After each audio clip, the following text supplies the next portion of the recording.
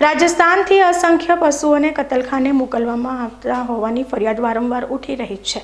ત્યારે રાજસ્થાનથી ગૌવંશને લઈને જઈ રહેલા એક કન્ટેનરની બાતમી થરાદના ગૌરક્ષકોને મળતા થરાદના જગદીશસિંહ રાજપૂત, હાજાજી રાજપૂત, દેવરામ મિસ્ત્રી, મયુર ભાટી સહિત અન્ય જીવદયા પ્રેમીઓએ બાર કલાક સુધી આ કન્ટેનરનો પીછો કરી વડોદરા નજીકથી આ ટ્રકને ઝડપી પાડીને ગૌવંશને મુક્ત કરાવ્યા હતા.